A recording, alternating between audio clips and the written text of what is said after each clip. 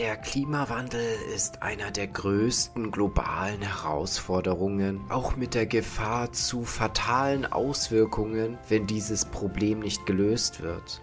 Aber was versteht man eigentlich unter Klimawandel und was sind die Ursachen davon?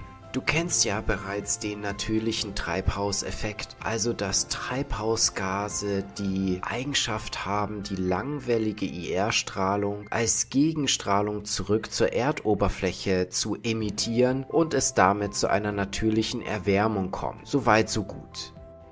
Im Bezug zu Klimawandel spricht man oft vom anthropogenen Treibhauseffekt, also menschengemacht. Das bedeutet, dass der natürliche Treibhauseffekt verstärkt wird, da von Menschen vermehrt Treibhausgase in die Atmosphäre emittiert werden, also ausgestoßen werden. Das bedeutet also mehr Treibhausgase, eine höhere Gegenstrahlung durch diese Treibhausgase und damit auch eine stärkere Erwärmung. Und diese stärkere Erwärmung bezeichnet man eben als Klimawandel. Hier in dieser Skizze modellhaft dargestellt, wie einfach mehr Strahlung wieder an die Erdoberfläche als Gegenstrahlung zurückgestrahlt wird, da es einfach mehr Treibhausgase mit dieser Eigenschaft gibt.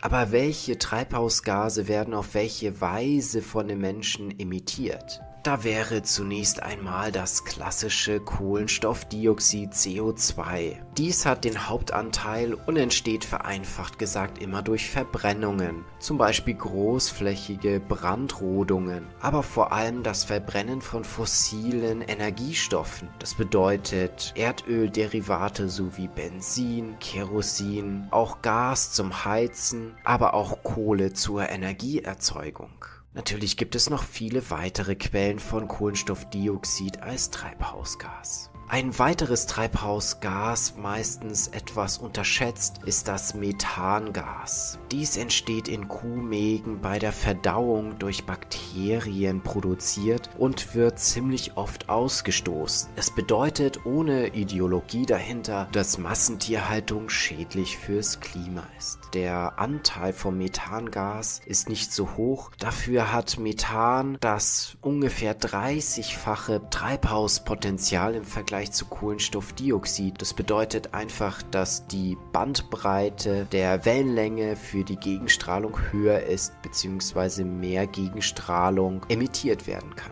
Ein weiteres Treibhausgas ist Distickstoffmonoxid N2O bzw. Lachgas. Das entsteht bei der großflächigen Düngung, die natürlich bei der Landwirtschaft andererseits unabdingbar ist. Lachgas hat ein 300-faches Treibhauspotenzial, ist also nicht zu unterschätzen.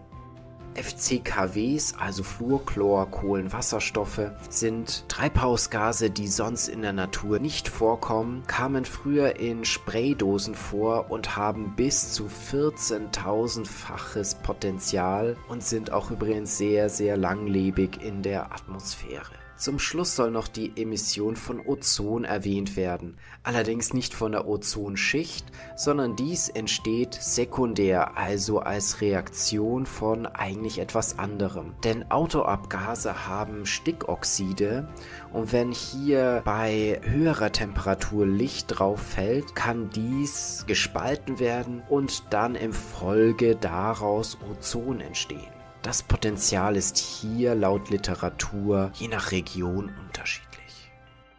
Du siehst, es gibt sehr viele Quellen von Treibhausgasen und diese haben auch eine unterschiedliche Auswirkung. Natürlich gibt es noch viele weitere interessante Beispiele, aber das sind erstmal die Grundlagen, um dann wirklich tief in dieses tolle Thema einzusteigen. Sei es irgendwelche Rückkopplungseffekte, Effekte, die man sonst nicht bedenken würde oder eben regionale Beispiele mit Auswirkungen in Zukunft oder bereits jetzt.